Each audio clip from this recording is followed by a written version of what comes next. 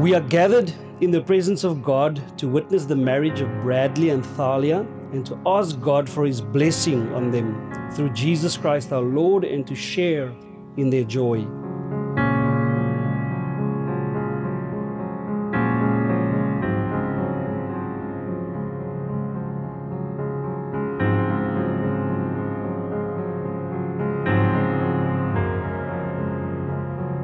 The bond and covenant of marriage was given by God in creation. It is God who says in His Word, For this reason, a man will leave his father and his mother and be united to his wife, and they will become one flesh. It is God who instituted marriage.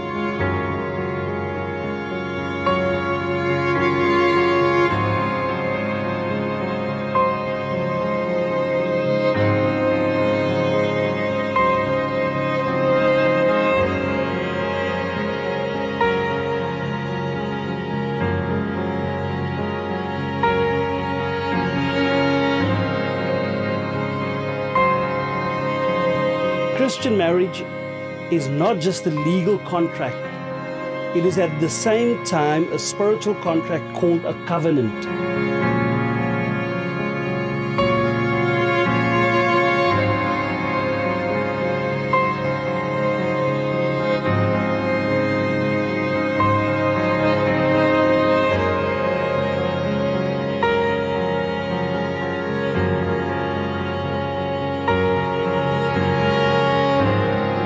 Marriage is a sign to us of the mystery of the union between Jesus and his church, and Holy Scripture commands that all should hold it in honor.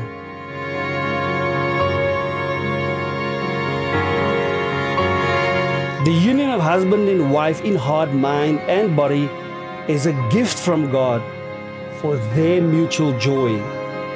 It is given for the companionship, help, and comfort that one ought to have of the others in terms of prosperity and adversity. It is given that the natural instincts should be regarded as holy and ordered properly. It is given that they may have children and nurture them in the knowledge and love of the Lord.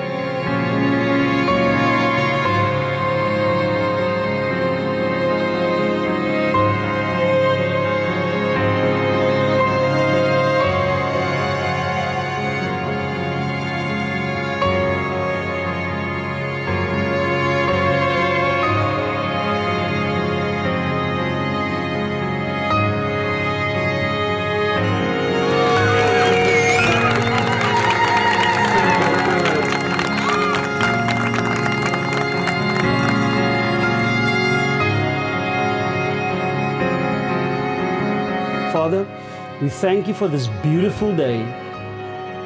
We thank you for the beautiful bride and bridegroom.